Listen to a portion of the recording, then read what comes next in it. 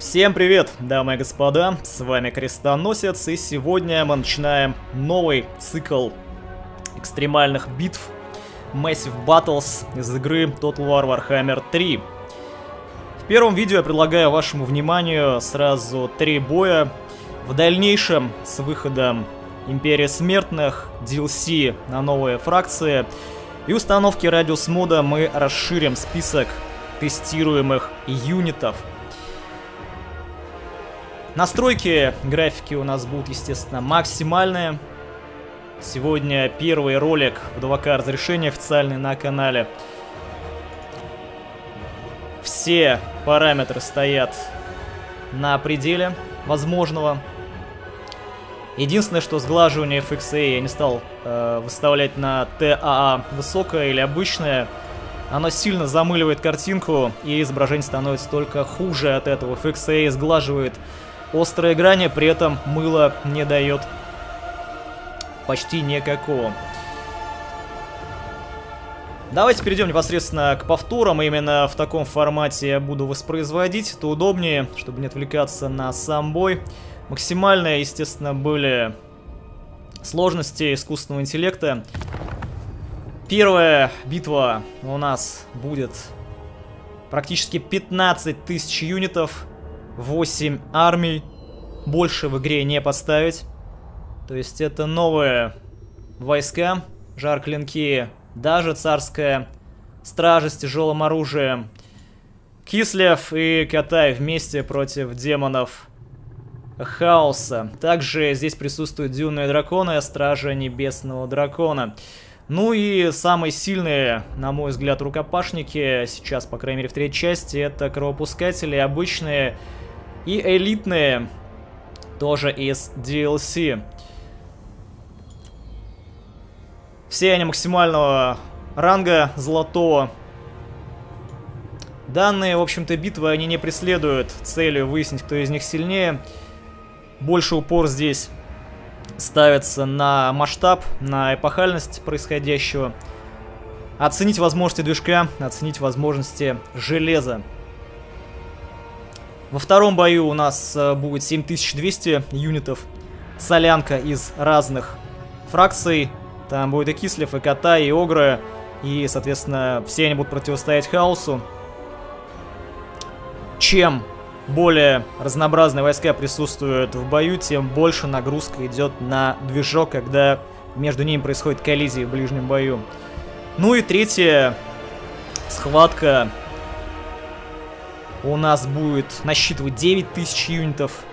Снова Хаос, Кислев, но на сей раз Демонессы э, вместе с элитарными кровопускателями против DLC-шных медведей Кислева. Итак, погнали. Подобную битву провести как бы в компании достаточно проблематично будет по причине того, что Максимум может выйти только 4 армии на бой, ну а еще 4 только в виде союзных подкреплений, а такое происходит крайне редко. Я не буду комментировать бой, просто посмотрите и узрите всю мощь и численность третьего варха. Ursun woke me to keep this world safe. I intend to do so. Но итоги мы подведем после битвы. Я скажу, какой был FPS минимальный. Ну и вообще, как это все работает.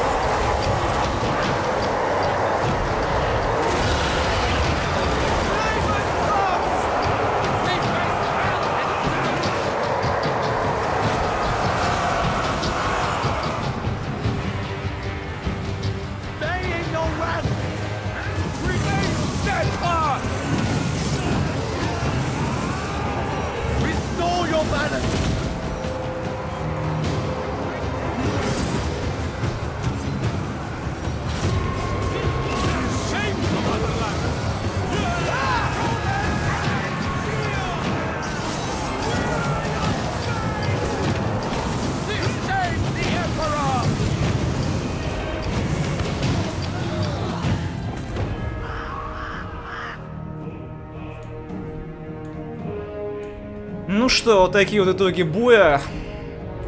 Побеждают Стражи Небесного Дракона и Царская Гвардия элитная из дополнений. Но здесь не совсем корректный, конечно, тест по их мощи. Было всего лишь одна армия у Кровопускателей и их элиты, тоже DLC-шной. Тем не менее, в общем-то, я рассчитывал, что обычные кровопускатели смогут гораздо больше противопоставить. Для частоты теста, наверное, стоит проверить те же самые войска у Кислева и э, Катая против двух армий элитных кровопускателей и двух армий элитных демон, э, демонесс из дополнения. Но это уже будет э, следующее тестирование. Обязательно проведу этот бой для того, чтобы выяснить, кто из них сильнее. Здесь впечатлили меня, во-первых, ну, сами вот эти вот войска. Они красиво выглядят, они хорошо сражаются, их поправили наконец-то, потому что до текущего, пожалуй, боя кровопускатели изрубали стандартных и Стражи Небесного Дракона, и царских гвардейцев, потому что урон там был чудовищный, и они его, самое главное, не держали. Ну и второе, это, пожалуй, то, что движок игры справляется с восьмью армиями без проблем. То, что не может сделать движок второго арха, хотя тот же самый, казалось бы, Warscape. И там, как вы знаете, при восьми армиях вот э, такой численности под 15 тысяч юнитов начинаются просто рывки самой картинки. То есть неважно, сколько у вас там FPS, хоть 100, там, хоть 200. Все равно она у вас будет дергаться, и войска будут э, дрыгаться, как будто их пинают, и идут они приставным шагом, э, с каждым ударом получая фриз. Здесь ничего подобного нет, FPS минимальный был, я писал аж в группе ВКонтакте, тогда был 44, насколько я помню, сейчас 45, то, что я видел э, мониторе его в реальном времени. Ну, в целом, для таких масштабов очень неплохо. Вот сейчас конкретно я смотрю на все это действие, у меня показывает 72 FPS, вот туда вот вдаль. При таком количестве войск, я считаю, это неплохо. Хотя я тестировал с ревейтюнером включенным. Да, видеокарта загружена в бою на 99%. Что не скажешь о процессоре, все-таки движок тот Вара.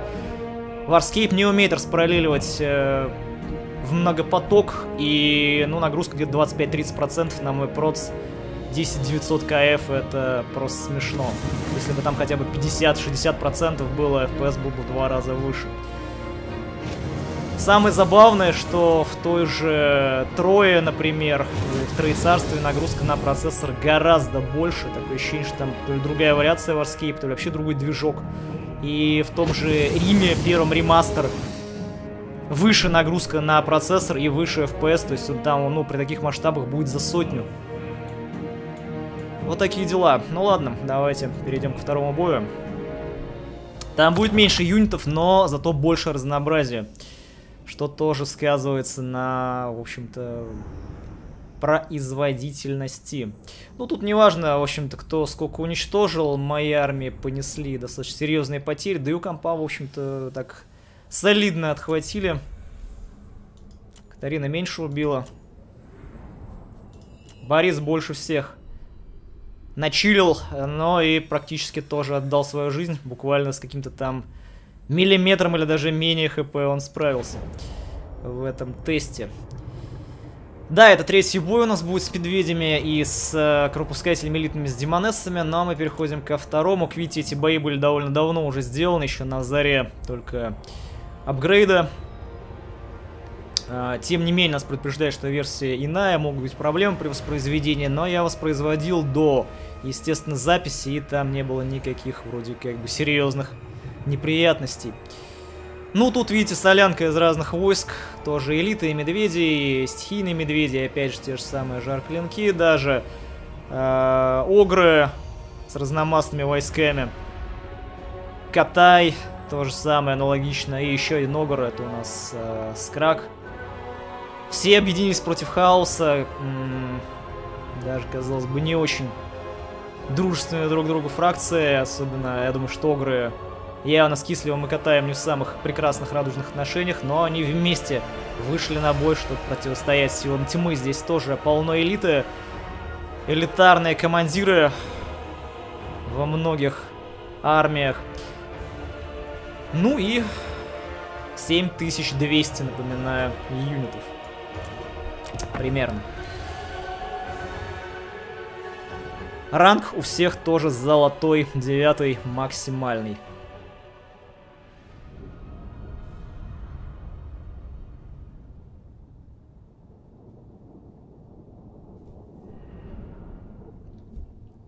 Ну и начальный шанс перед боем, как видите, здесь также дают примерно одинаковый, там плюс-минус пару процентов. Вот видите, может быть 53 где-то на 47.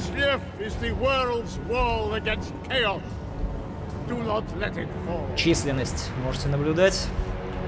Ну и смотрим.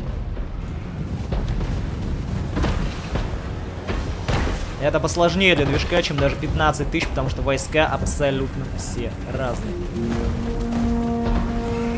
их взаимодействие при столкновении, оно достаточно сложно в обработке.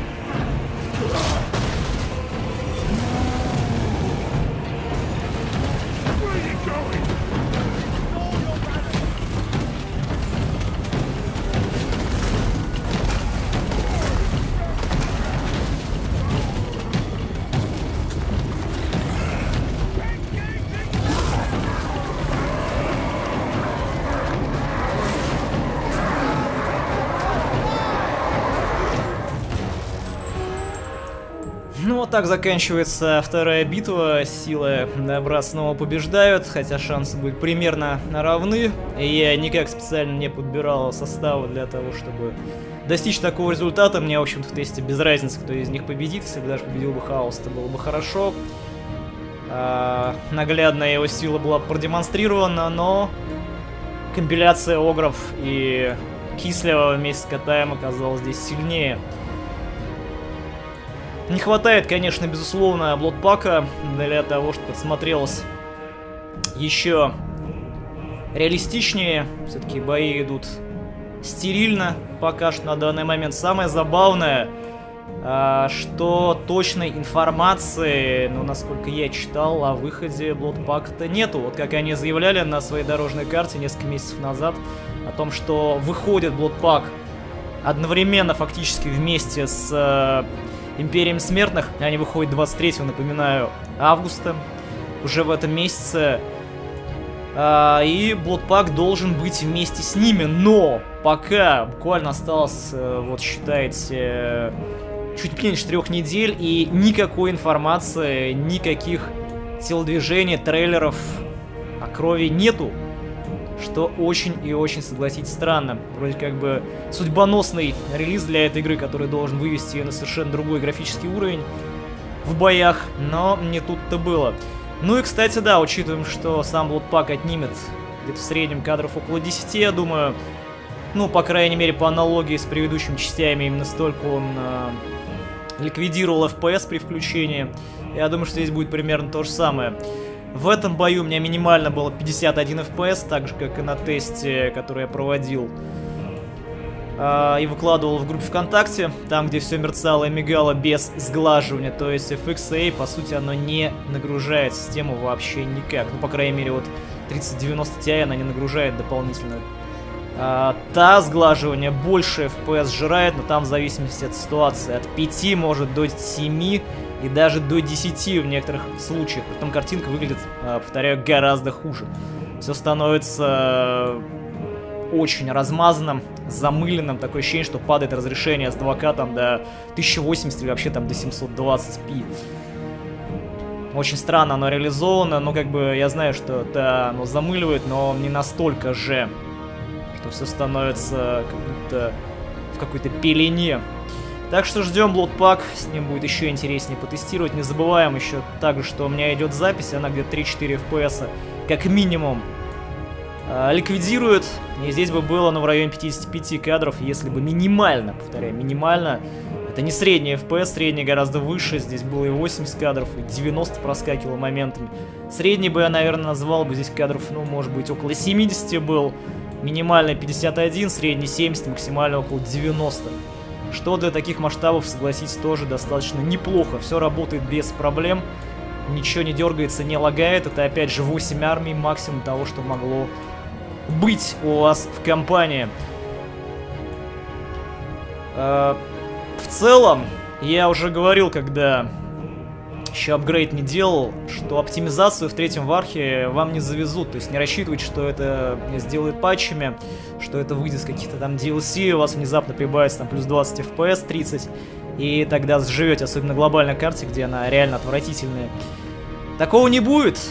Только апгрейд железа даст вам оптимизацию спустя, ну не знаю, лет 5 примерно, когда все уже обновятся до каких-нибудь пресловутых там 50, э, 5060 там RTX, грубо говоря, или там 5070, никто и не вспомнит, что в Total War Warhammer 3 была какая-то дерьмовая оптимизация на релизе. У всех там будет в боях под э, 80 кадров в среднем, если там будет 4 армии, допустим, или там 2 армии, еще больше. На глобальной карте будет там 50-60 FPS, а то и больше. В 2К разрешение, 4К будет, конечно, меньше, но этого достаточно. Сейчас, да, сейчас, кстати, вот на 3090 Ti на глобальной карте не везде в 2К держится 60 кадров. Сразу говорю, если быстро водить камеры, то бывают просадки до 53 у меня при записи, при тестовых стримов, э, которые были в ограниченном доступе.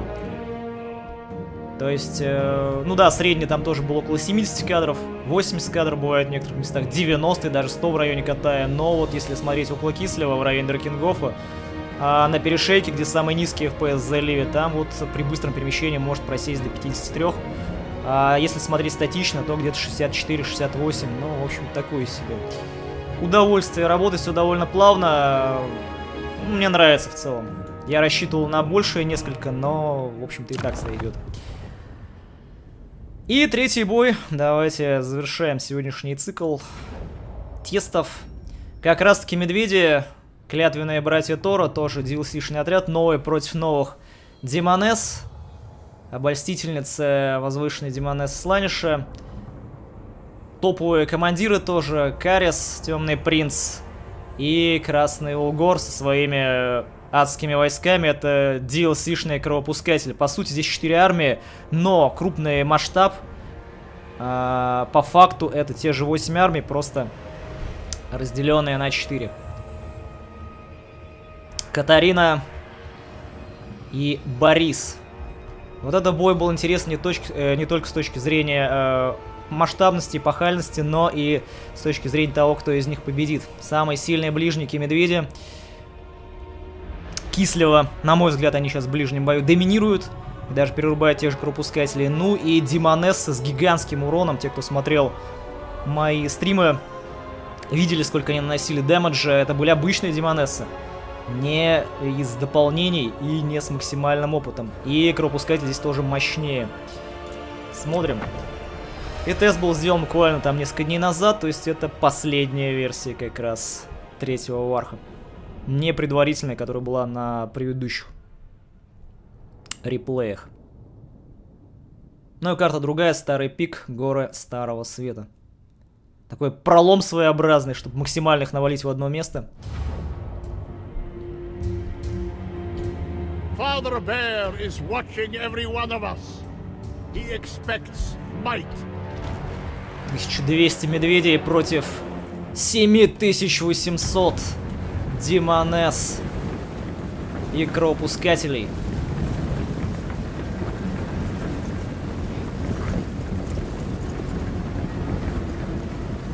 Моментами это смотрится как ультимейт батл симулятор.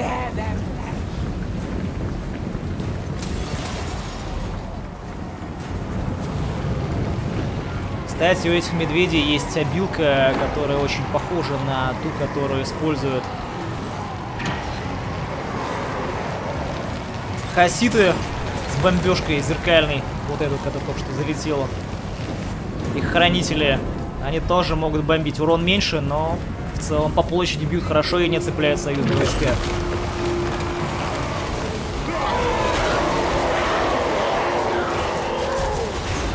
Начальные шансы, ну, примерно одинаковые. У медведей чуть больше на пару процентов. 52 на 48.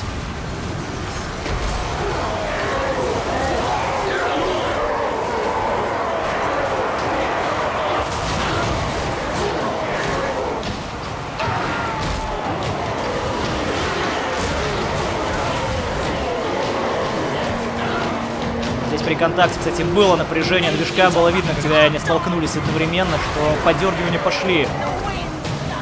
Именно слишком много их в одном месте столкнулся. Я для этой цели поставил этот пролом, чтобы они навалились одновременно в одну точку. Но справился, тем не менее, видите, разрулил и все это не скатилось в слайд-шоу. Было эпизодически едва заметных пару мгновений. Вот пошла эта бомбежка. Медвежье.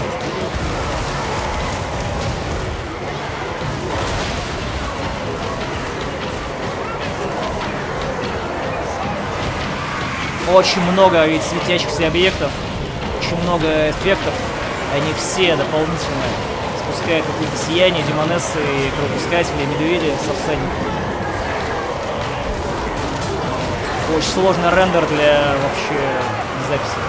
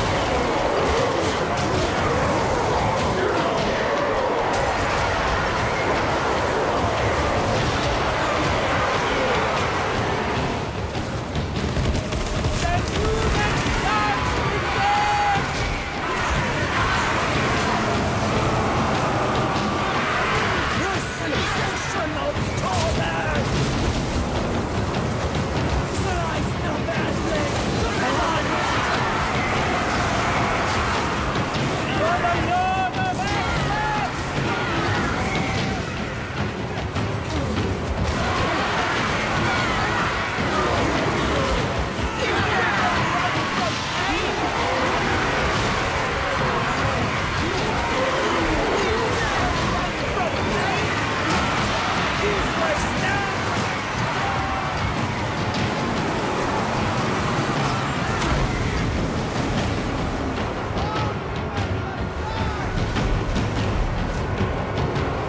Кричат ряды ведьм, демонессы, кровопускателей, и уже два фланга обрушены медведями, и они накрывают их со всех сторон, беря в окружение, плюс давят комп постоянными чарджами, отходя, видите, назад и сходу накатывая, добавляя мощь за счет натиска. Ну а мои медведи здесь чисто танковали в ближнем бою, не пропуская их. Использовать натиск свой.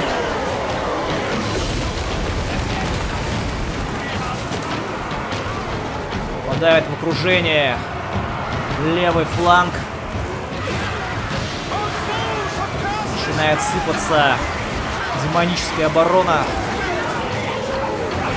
Медведи в этом бою доказывают, что все-таки они сильнее. Это была максимально возможно элита и у демонов в ближнем бою, и у Кислого, и медведи оказываются мощнее.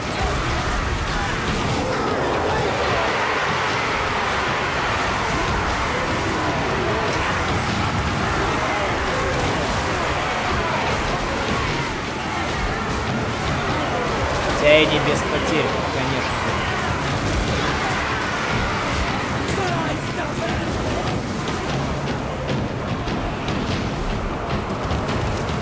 много они разбомбили, довольно быстро перезаряжается обилка.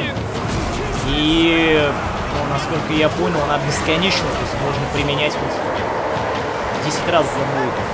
По крайней мере, я не видел никакого ограничителя по применению. Довольно странно и немного дисбалансно выглядит. Но, опять же, вы не сможете взять эти войска в огромном количестве в бой, это только в тесте, я их поставил Считайте, там было 80 отрядов этих медведей против 80 отрядов демонессы крупускателей. А, в компании вы сможете взять штуки 3, наверное, как обычно, среди элитных отрядов. Генеральских. Ну, я точно не смотрел, но я думаю, что их численность все равно жестко ограничена. И лимитирована. Поэтому эта бомбежка не станет какой-то ахиллесовой пятой в плане баланса.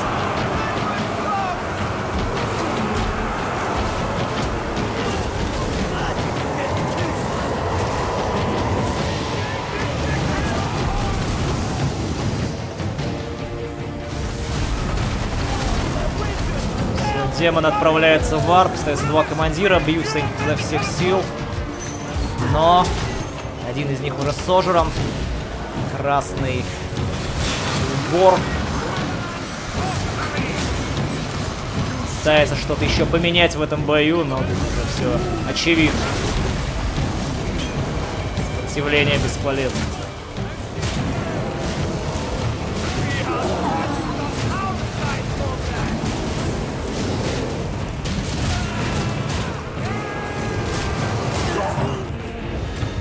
Ну и что хочется сказать, кстати, еще отдельно про разрешение. Между все-таки 1080 и 2К есть довольно приличная разница в плане детализации и четкости картинки. Да и воспроизведение на ютубе тоже гораздо более четким является именно в 2К. Поэтому всячески рекомендую поставить именно его, даже если вы являетесь обладателем Full HD монитора. Гораздо повысится резкость и в целом качество картинки возрастет. Но есть и одна проблема, кстати, связанная с 2К разрешением, я о ней писал а, в группе ВКонтакте и вот выкладывал видео с первыми двумя боями, записанные без сглаживания. В общем, дело в том, что когда вы загружаете видео на YouTube, оно рендерится его кодеками, перерендеривается, переобрабатывается, и из-за наличия гигантского количества мелких деталей, не сглаженных, кодеки Ютуба э, его обрабатывают таким образом, что изображение начинает мерцать. То есть начинает мерцать синхронные деревья, войска в динамике. И смотрится это отвратительно. То есть когда вы двигаете камеру, у вас все это одновременно мигает и моргает. Именно поэтому сглаживание пришлось включать. Э, это проблема именно Ютуба, потому что на самом видео ее нет после записи. Ее нет вот сейчас, вот, когда я, соответственно, записываю, все прекрасно выглядит и работает.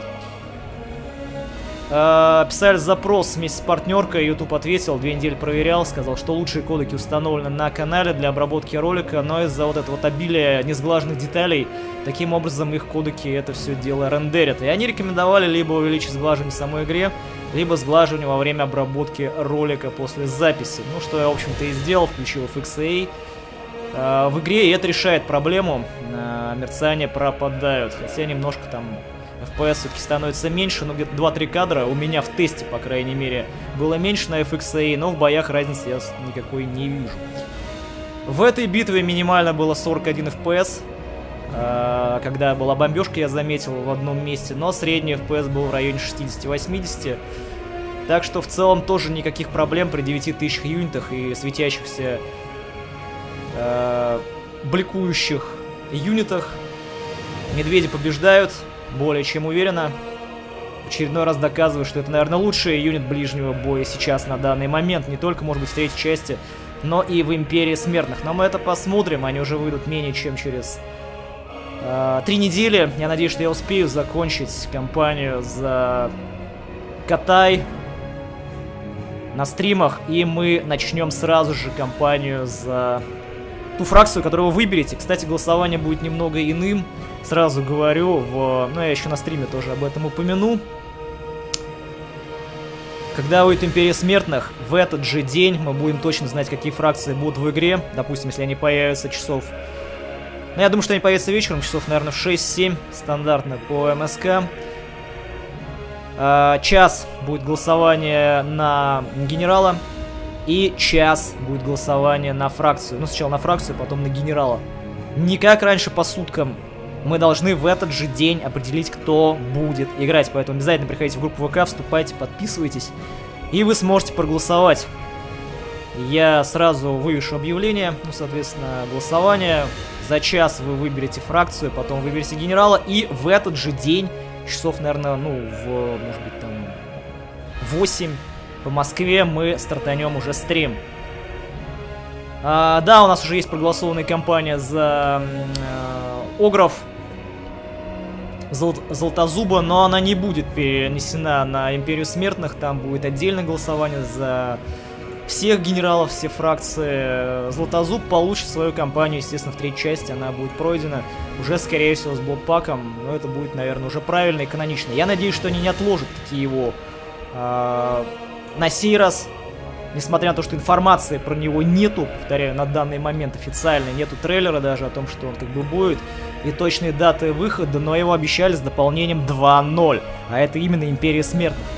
Может быть без особого опломба, может быть за несколько дней они выложат трейлер, но пока что трейлера нет даже в официальном лаучере и на официальном сайте креативов. Кто что знает, пишите. Э, будет интересно почитать, если у кого-то есть такая информация. Ну и предлагайте ваши варианты будущих тестов. Один я уже озвучил, это демонессы возвышенные. Элитные из DLC, кровопускатели DLC-шные против вот тех же войск, которые были в первом бою сегодня, то есть против царской гвардии. И небесных драконов, дюнных. Посмотрим, кто из них при 15 тысячах тоже победит друг друга. Я думаю, что у Демонессы и у Кровопускателей есть шанс одолеть кислевитов. Но я буду командовать опять кислевым, там э, увидим на максимальной сложности кто кого. Вы можете свои варианты писать в комментариях, я их рассмотрю, и э, там уже также будем их использовать в будущих э, тестах. Вот такие дела. Надеюсь, что данное вводное видео вам понравилось. Многие хотели оценить возможности новой системы, как она работает. Ну вот вы воочию могли это все наблюдать. В принципе, на стримах будет все то же самое. Там нагрузка примерно такая же. Скорость записи здесь 100 мегабит в секунду была. На стриме я буду стримить на 50 одну тысячу килобит в секунду, ну 51 мегабит, потому что это ограничение самого OBS для 2К разрешения. Если его превышать, то начинаются какие-то фрезы, лаги, я уже проверял. Ну, картинка выглядит очень достойно, гораздо лучше, чем она выглядела на Full HD разрешении, поэтому я думаю, что вам понравится. И вы визуально увидите разницу и в, FPS, и, соответственно, в, естественно, графике. FPS, да, стал больше, как я уже упоминал, у меня ранее был где-то в районе 30, а при быстром перемещении камеры 30-45 FPS, что-то в таком диапазоне, сейчас он варьируется от 50, э, ну в среднем 5 при быстром перемещении, да, с провалом до 53 э, в минимуме, то, что я видел, ну в среднем там 55, где-то 100 FPS в зависимости от э, региона карты, то есть производительность стала выше, ну раза где-то в 2, может быть 2 с небольшим, так оно и должно было быть, но для 4К по-прежнему все-таки видеокарта пока не существует, и даже 3090 Ti получала бы провалов в среднем, я думаю, кадров до 30, может быть 5 где-то при быстром перемещении, ну а средний был бы 40-60. Если вы скажете на глобальной карте, играбельно ли это? Ну да, вполне играбельно, для стратегии это неплохо. В боях бы было, ну, где-то кадров, наверное, в среднем тоже 35, там 70, очень хорошо. Но запаса бы не было никакого. Я все-таки склоняюсь к тому, что 2К сейчас идеальное разрешение для современных карт. Большой запас на будущее. Гладкая работа. Можно ограничить FPS, чтобы они там не перегревались, не перегружались. И спокойно, ну, в те же 60 кадров, там, 75, на сколько установится ограничение, играть, наслаждаться плавным геймплеем. А... Вот, наверное, все, что я хотел сегодня сказать и показать.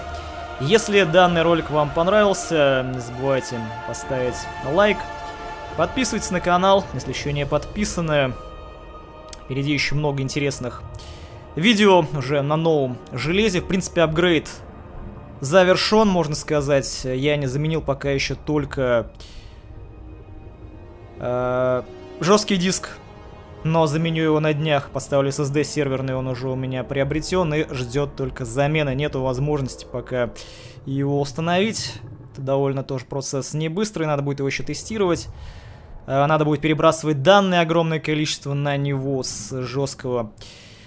Это делается для того, чтобы увеличивать скорость битрейда, возможно, даже больше 100 мегабит в секунду при записи, а жесткий диск уже может стать узким местом в этом э, плане, хотя его скорость где-то 100, там 50-170, но он может уже фризить в определенные моменты, плюс ко всему он все-таки шумит, а система я подбирал себе абсолютно бесшумную, и сейчас он является самым шумным устройством в системном блоке.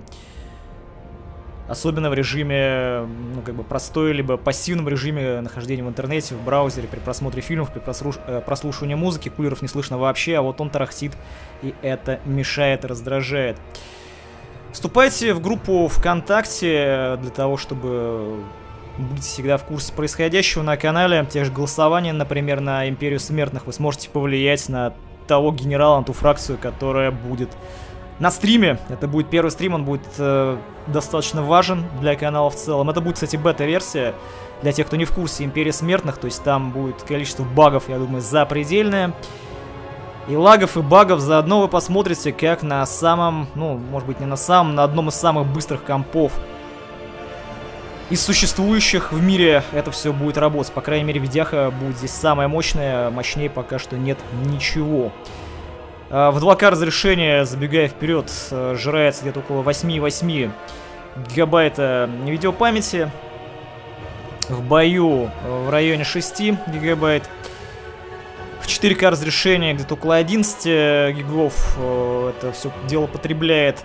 Это в третьей части. А вот на объединенной карте огромной, сколько это будет в итоге все дело сжирать, мы узнаем очень и очень скоро. Я вам обязательно это скажу, поэтому приходите